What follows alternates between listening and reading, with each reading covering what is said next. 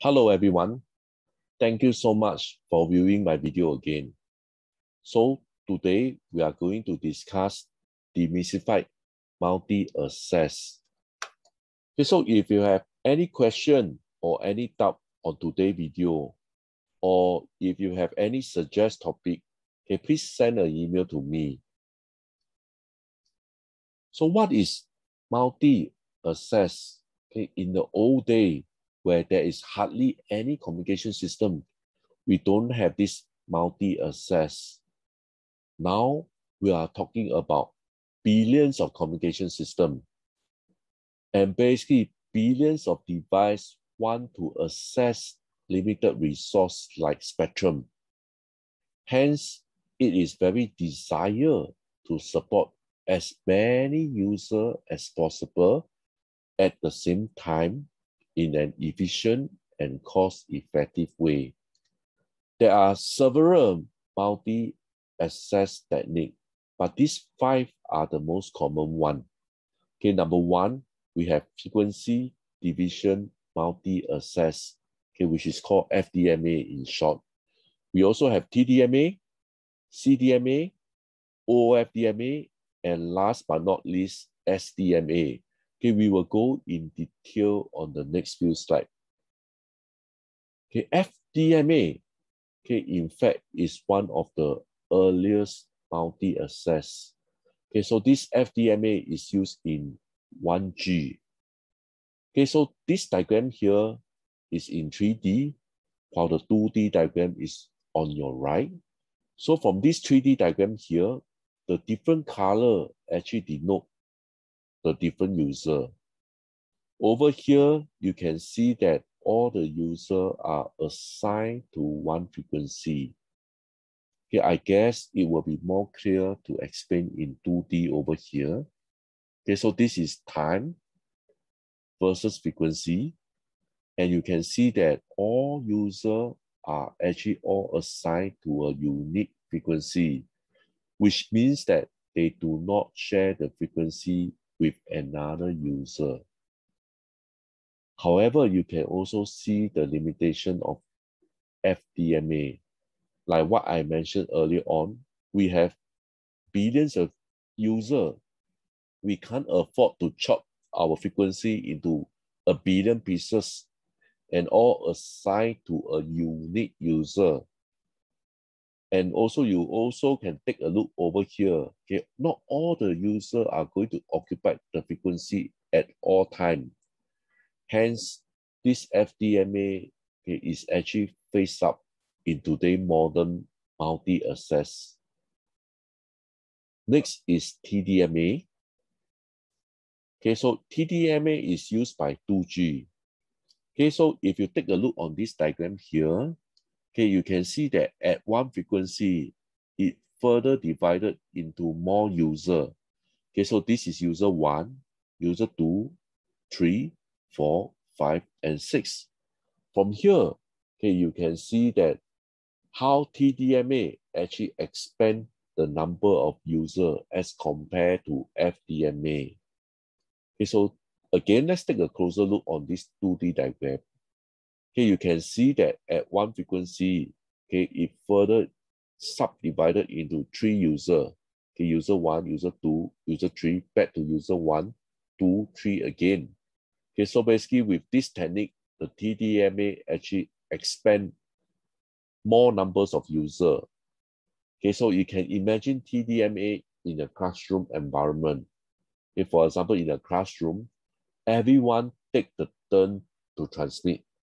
So when it's not your turn, okay, you are not able to transmit any data.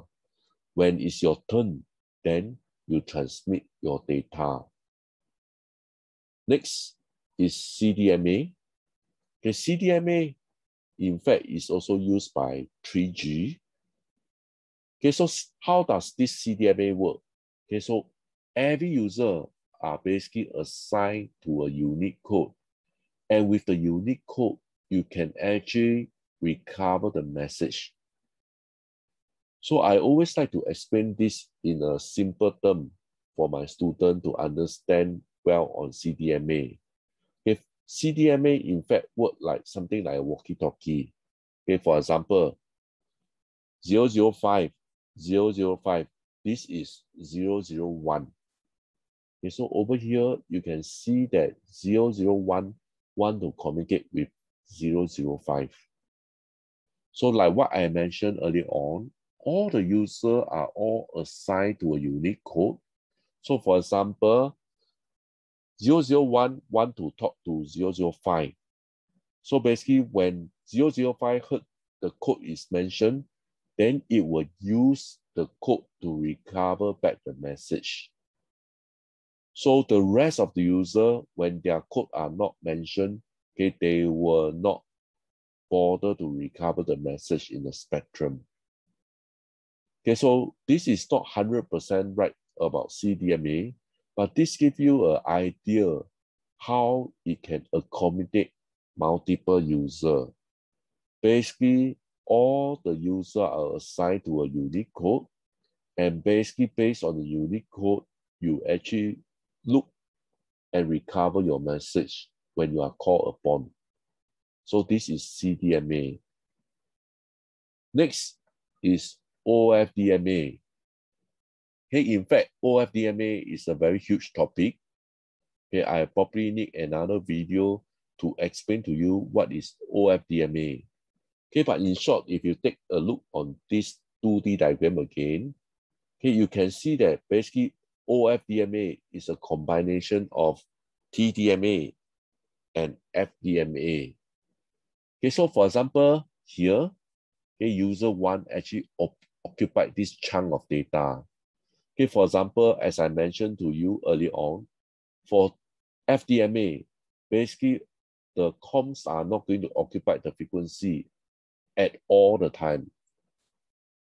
And for TDMA, when you have a lot of message to send, and basically you need to take your turn to send your message, then this will take a long time for you to send the message.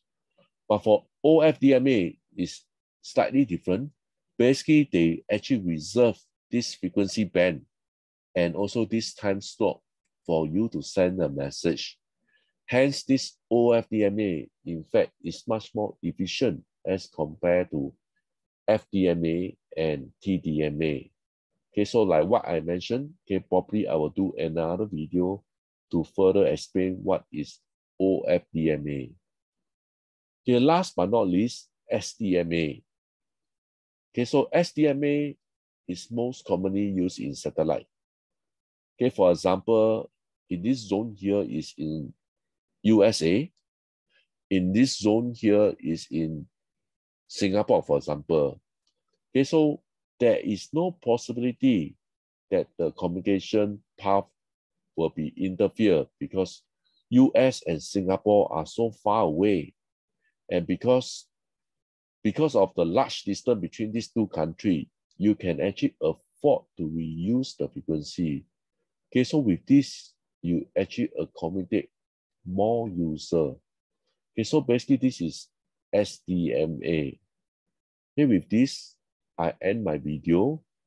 Thank you so much. Please like and subscribe. Thank you.